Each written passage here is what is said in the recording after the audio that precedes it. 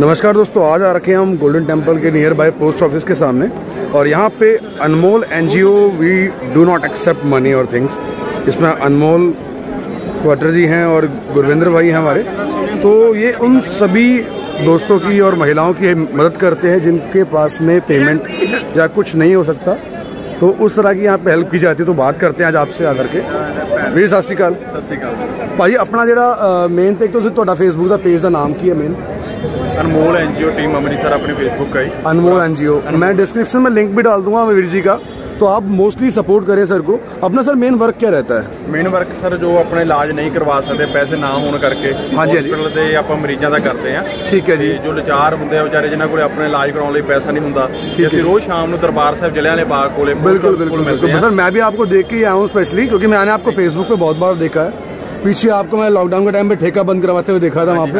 वो वीडियो मैंने आपकी फॉलो की थी। तो बहुत एक अच्छा काम कर रहे हैं। प्लस इसमें आप जितना भी रहता है डोनेशन जो रहता है जो भी बंदा डोनेट करता है उसके नाम से फिर देन आप उसे आगे फॉरवर्ड करते हैं। सर हमारा कोई अकाउंट नंबर नहीं है। जो भी सेवा करनी चाहता उन्होंने इतने लोकेशन से साढ़े से आना पैदा। तो ये जो लोकेशन है मैं बताता हूँ आपको गुरुद्वारा है। सामने पड़ता है जलियावाला बाग। जलियावाला बाग के जस्ट अपोजिट में पोस्ट ऑफ़िस है।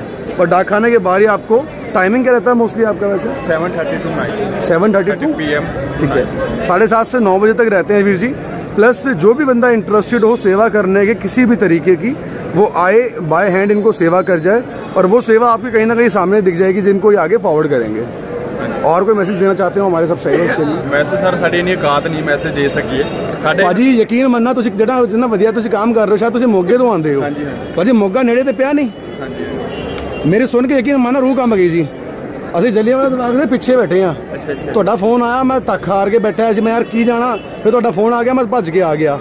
ਉਧਰੋਂ ਇੱਧਰ ਤਾਂ ਇਹਨਾਂ ਔਖਾ ਹੁੰਦਾ ਹੈ ਤੇ ਮੋਗਾ ਕਿੱਥੇ ਪਿਆ? ਅੱਜ ਦੇ ਟਾਈਮ 'ਚ ਭਾਜੀ ਹਰ ਕੋਈ ਕਹਿੰਦਾ ਕਿ ਭਗਤ ਸਿੰਘ ਇਸ ਦੁਨੀਆ ਤੇ ਆਉਣਾ ਚਾਹੀਦਾ ਵਾ। ਪਰ ਕਿਸੇ ਨੂੰ ਨਹੀਂ ਮਨਜ਼ੂਰ ਕਿ ਸਾਡੇ ਘਰ ਪੈਦਾ ਹੋਵੇ। ਸਾਡੀ ਨਹੀਂ ਔਕਾਤ ਸਾਰੀ ਗੱਲ ਹੋਈ। ਜੁੱਤੀ ਸਮਾਨ ਆ ਲੋਕੀ ਦੇਖਣ ਚ ਕਹਿੰਦੇ ਨਾ ਆਰਮੀ ਐ ਕਰਦੀ ਆਰਮੀ ਐ ਕਰਦੀ ਲੇਕਿਨ ਅੱਜ ਦਾ ਥੀਮ ਉਹ ਦੇਖੋ ਇਹ ਕਿਹੜਾ ਪਿਓ ਪਿਓ ਚਾਹੁੰਦਾ ਹੈ ਕਿ ਬੱਚਾ ਉਹਦਾ ਆਰਮੀ 'ਚ ਜਾਏ। ਸਹੀ ਸਹੀ ਗੱਲ। ਭਾਜੀ ਅੱਜ ਦੇ ਟਾਈਮ ਮੇਰੀ ਉਮਰ ਸਾਰੀ- 23 ਸਾਲ ਆ। ਬਿਲਕੁਲ ਔਰ 23 ਸਾਲ ਦਾ ਉਮਰ ਜਦੋਂ ਸਾਡਾ ਪੁੱਤ ਕਰੇ 23 ਸਾਲ ਦਾ ਹੋ ਜਾਂਦਾ। ਮਾਪਿਓ ਦੀ ਸੋਚ ਕੀ ਹੁੰਦੀ ਆ? ਹਾਂਜੀ। ਕਾਲਜ ਪਾਸ ਆਊਟ ਹੋ ਗਿਆ।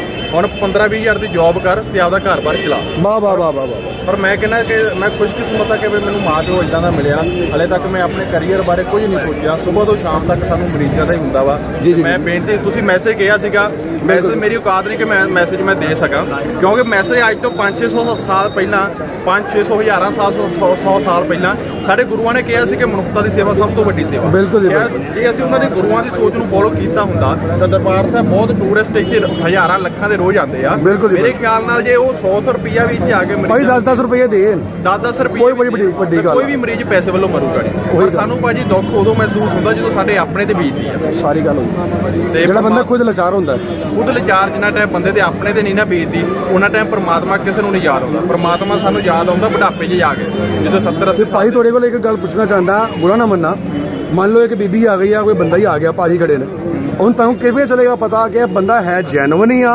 ਕਿਉਂਕਿ ਤੁਹਾਨੂੰ ਪਤਾ ਜਿਹੜੇ ਫੁਕਰੇ ਬੰਦੇ ਚੱਲਦੇ ਨੇ ਪੰਜਾਬ 'ਚ ਫੁਕਰਾਪੰਤੀ ਬਹੁਤ ਆ।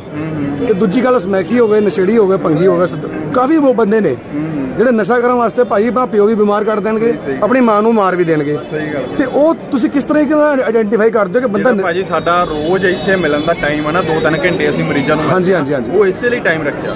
ਕਿਉਂਕਿ। ਸਾਡੇ ਕੋਲ ਜੇ 50 ਮਰੀਜ਼ ਆਉਂਦੇ ਉਹਦੇ ਵਿੱਚੋਂ 30 ਮਰੀਜ਼ ਲਾਲਚੀ ਹੁੰਦੇ ਲੈਣ ਦੇ ਸੇਵਾ ਵਾਲੇ ਸਹੀ ਅਸਲ 'ਚ ਜਿਨ੍ਹਾਂ ਨੂੰ ਲੋੜ ਹੁੰਦੀ ਆ ਉਹ 5 ਜਾਂ 10 ਹੀ ਹੁੰਦੇ ਆ ਕਿਉਂਕਿ ਭਾਜੀ ਯਕੀਨ ਮੰਨਾ ਅੱਧੇ ਬੰਦੇ ਤਾਂ ਮੰਗਦੇ ਵੀ ਕੁਝ ਨਹੀਂ ਸਹੀ ਸਹੀ ਗੱਲ ਸ਼ਰਮੋ ਸ਼ਰਮੀ ਬਸ, ਬਸ। ਇਹ ਪਤਾ ਨਹੀਂ ਮਨਾ ਹੀ ਨਾ ਕਰ ਦੇਣ ਆ ਕੇ ਸਾਨੂੰ ਭਾਜੀ ਐਕਸਪੀਰੀਅੰਸ ਲਾ ਲਓ ਕਿ ਮਰੀਜ਼ ਦੇ ਚਿਹਰੇ ਤੋਂ ਦੇਖ ਕੇ ਪਤਾ ਲੱਗ ਜਾਂਦਾ ਲੋੜਵੰਦ ਹੈਗਾ ਕਿ ਨਹੀਂ ਸਾਰੀ ਗੱਲ ਹੋਈ। ਪਰ ਫਿਰ ਵੀ ਉਹਦੇ ਨਾਲ ਗੱਲਾਂ ਬਾਤਾਂ ਕਰਕੇ 5-4 ਮਿੰਟ ਗੱਲਬਾਤ ਉਹਨੂੰ ਟੋਹ ਕੇ Identify ਉਹਦੇ ਕਰਕੇ। ਘਰ ਆਪਣਾ ਟੀਮ ਮੈਂਬਰ ਭੇਜ ਕੇ ਉਹਦੇ ਸਹੀ। ਆਂਢ ਗੁਆਂਢ ਚੋਂ ਪਤਾ ਕਰਕੇ ਉਹਦੇ ਘਰ ਦੀ ਵੀਡੀਓ ਆਪਣੇ ਤੱਕ ਆਂਦੀ ਆ ਅਸੀਂ 24 ਘੰਟੇ ਉਹ ਲੈਂਦੇ ਵਧੀਆ ਆ। ਗੱਲ ਆ। 24 ਘੰਟੇ ਲੈਣੇ ਆ ਕਿ ਤੇਰਾ ਕੇਸ ਰੀਡ ਕਰਾਂਗੇ ਜੇ ਵਾਕਿਆ ਲੋੜਵੰਦ ਹੋਏਗਾ ਤਾਂ ਮਦਦ ਹੋਊਗਾ ਮੈਂ ਆਪਣੇ ਨੰਬਰ ਬਣਾਉਣ ਦੇ ਚੱਕਰ 'ਚ ਕਿ ਹੁਣੇ ਮੈਂ ਤੇਰੀ ਮਦਦ ਕਰਦਾ ਉਹ ਕੰਮ ਨਹੀਂ ਮੈਂ ਕਰਦਾ ਉਹ ਸਹੀ ਗੱਲ ਕਿਪਾ ਨਸ਼ੇੜੀ ਆ ਜੇ ਸਹੀ ਸਹੀ ਗੱਲ ਬਹੁਤ ਤਰ੍ਹਾਂ ਦੀ ਦੁਨੀਆ। ਚਿੱਟੇ ਵਾਲਾ ਆ ਜਾ ਚਿੱਟਾ ਆਣਾ ਹੋਏ ਉਹ ਆ ਕਹਿੰਦਾ ਮੇਰੀ ਕਿਡਨੀ ਖਰਾਬ ਆ ਤੂੰ ਤੁਹਾਡੇ ਪੈਸੇ ਲੈ ਕੇ ਉਹ ਚਿੱਟਾ ਪੀ ਗਿਆ ਜਾ ਕੇ। ਬਹੁਤ ਬਹੁਤ ਤਰ੍ਹਾਂ ਦੀ ਦੁਨੀਆ ਸਾਰੀ ਗੱਲ ਹੋਈ ਹੈ। ਤੇ ਭਾਈ ਥੈਂਕ ਯੂ ਸਮੇਂ ਦੇਣ ਲਈ। ਬਹੁਤ ਬਹੁਤ। ਥੈਂਕ ਯੂ ਭਾਈ ਤੇ ਜਿੰਨਾ ਹੋ ਸਕੇ ਸਬਸਕ੍ਰਾਈਬ ਕਰੋ ਤੇ ਭਾਈ ਜਿੰਨਾ ਹੋ ਸਕੇ ਸ਼ੇਅਰ ਵੀ ਕਰੋ ਤੇ ਨਾਲੇ ਆ ਕਰਕੇ ਤੁਹਾਡੇ ਕੋਲੋਂ ਵੀ ਇਹ ਅਪੀਲ ਆ।